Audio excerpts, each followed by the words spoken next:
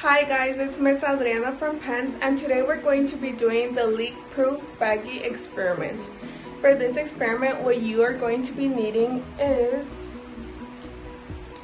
a baggie. Right now I only have Star Wars baggies, so a Ziploc baggie.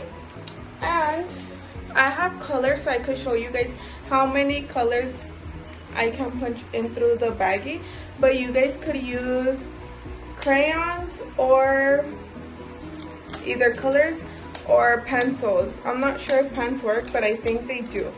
So I'm gonna show you guys how we do this. So you're gonna need either colors or pencils, a baggie, and some water for this experiment, okay? Oh, and I also wanted to ask you guys, how are you guys doing with this heat? Miss Adriana is melting right now. Like, I'm sweating. I have two fans in my room. That's why you guys might hear some ruckus in the background. But how are you guys doing right now? One thing I forgot to mention is to have your pencils or color sharpened so it punches through the baggie easier and you don't have to be um, struggling to do that. So what I did, I went on and sharpened all of the crayons as sharp as I could. I had difficulty with the purple one because it kept breaking. But right now my brother's filling up the baggie and we're gonna start doing the experiment. So here's the baggie full of water, my brother. Here's the baggie full of water and now we're gonna proceed to putting in the colors. So my brother's going to proceed into putting the colors in through the baggie. There's one, two, three, four, five, six, seven, eight. So we were able to get eight colors through the baggie without the baggie leaking.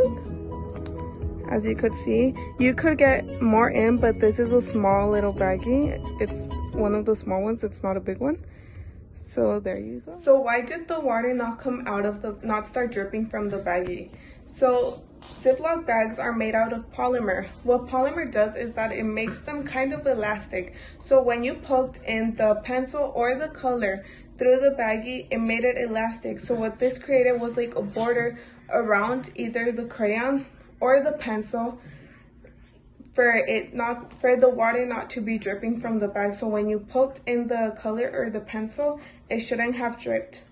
We did have one fail so because we did two tries. The first one was a fail because my brother put in the two colors too close to each other creating a big hole where the colors did not did not cover the two holes.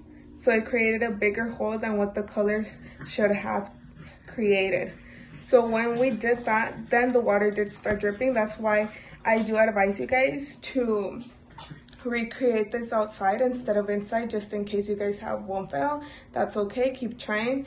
Our second one was our charm. Maybe your third one is your charm. So i hope you guys really enjoy this. And if you guys hear any like snoring or something it's my dog let me show you guys. There she is. She's playing and she's making all the noise while i'm trying to record. So thank you guys so much for watching. I hope you guys really do try this out and i hope you guys like it. And it's perfect right now. Like even if you guys get wet it's perfect right now because it's really hot. I got wet also when if when it felt the first time but it's okay. Bye guys